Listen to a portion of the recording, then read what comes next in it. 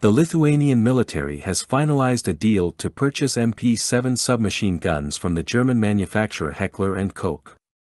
The procurement division of the Lithuanian Ministry of Defense announced the contract award on the European procurement platform TED, dated October 2, 2023.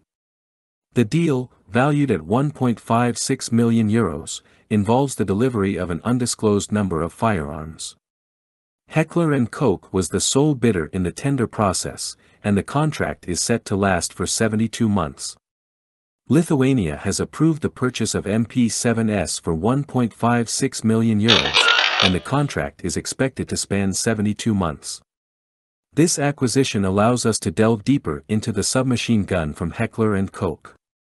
The MP7 submachine gun, produced by German manufacturer Heckler & Koch, is a personal defense weapon that was introduced in 2001 and is currently used by more than 20 countries.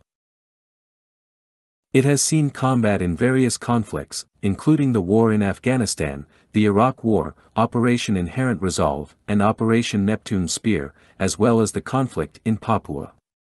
The MP7 is a versatile firearm, weighing approximately 1.90 kilograms with an empty 20-round magazine as a personal defense weapon, PDW, and around 2.10 kilograms in its MP7A1 variant.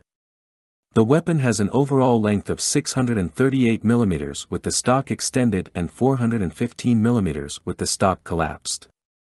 The barrel is 180 mm long, and the weapon itself has a width of 51 mm and a height of 169.5 mm.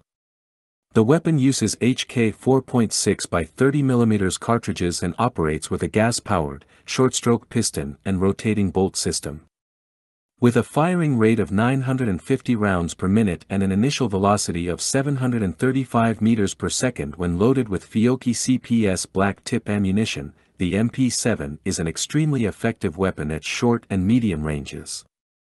Its effective firing range is around 200 meters.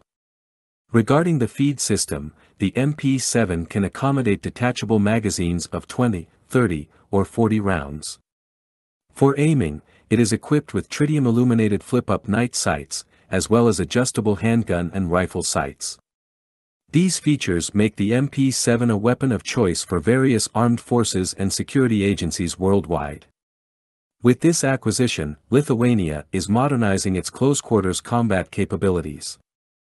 These capabilities were severely tested during the conflict between Ukraine and Russia. Lithuania thus appears to be learning from modern warfare.